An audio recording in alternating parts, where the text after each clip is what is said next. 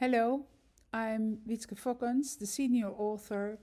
of this EUFOREA EPOS 2020 statement on the clinical considerations for chronic rhinosinusitis with nasal polyp care. This EUFOREA document provides an expert panel overview of the indications, criteria, contraindications, expected outcomes, and specific considerations of the five major treatment arms of severe uncontrolled chronic rhinosinusitis with nasal polyps oral corticosteroids, primary sinus surgery, revision sinus surgery, biological treatment, and aspirin treatment after desensitization. The use of short courses of systemic corticosteroids is an important tool in the treatment of severe chronic rhinosinusitis with nasal polyps due to their potent anti inflammatory effects. Systemic corticosteroids are an inexpensive and globally available treatment with effective reduction of nasal polyp size and rapid improvement of major sinonasal symptoms such as nasal obstruction, loss of smell, and nasal discharge in both short and long term treatment. Unfortunately, the effects of uh, systemic corticosteroids wane shortly after ending treatment, and in view of significant systemic side effects observed with repeated short or long term courses,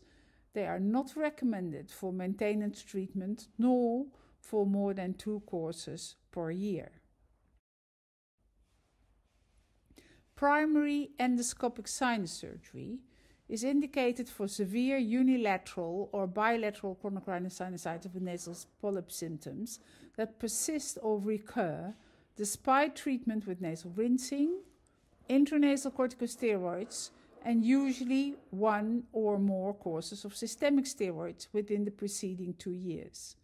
The primary goals of endoscopic sinus surgery in chronic rhinosinusitis with nasal polyps are to remove the diseased mucosa, including nasal polyps, facilitate the delivery of intranasal corticosteroids to the sinuses, in turn, reducing the inflammatory burden of the disease and improving the outcomes of post endoscopic sinus surgery medical treatment, with the expected outcome of improvement of overall sinonasal symptoms.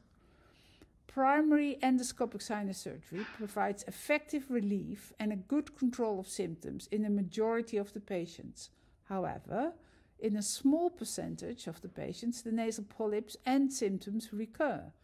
The goals of revision endoscopic surgery should be carefully determined and may include the removal of obstructing polyps, addressing any residual anatomical issues that may contribute to the recurrence, such as scar tissue or insufficiently open sinuses, or the presence of complications such as mucocele formation. In the shared decision making process, clinicians and their patients must consider symptomatology,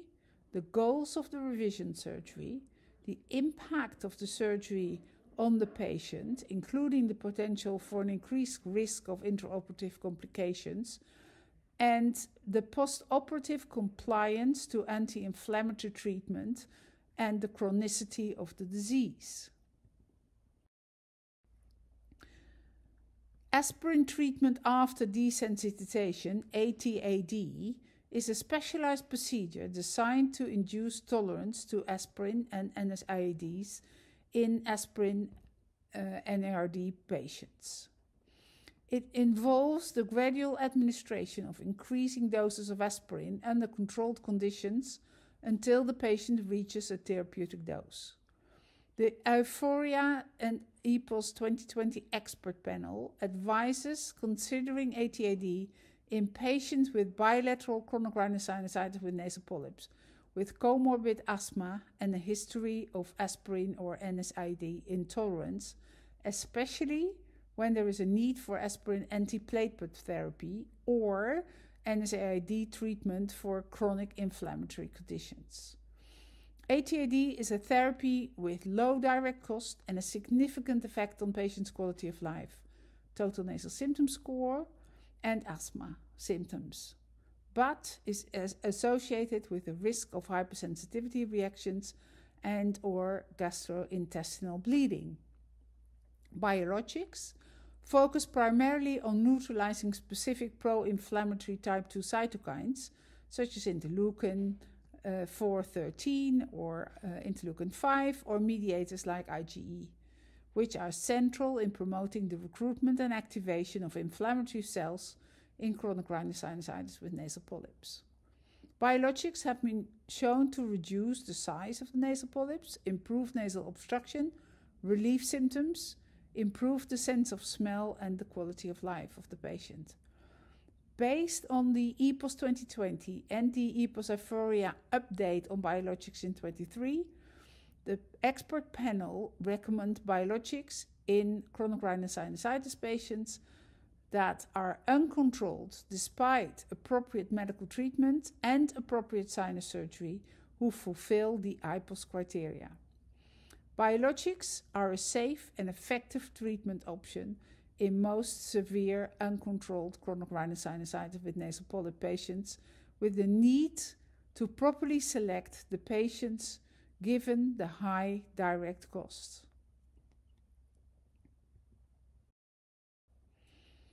we hope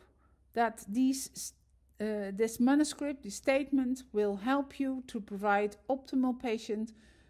uh, care for your patient with chronic rhinosinusitis with nasal polyps. And thank you for listening and reading Allergy.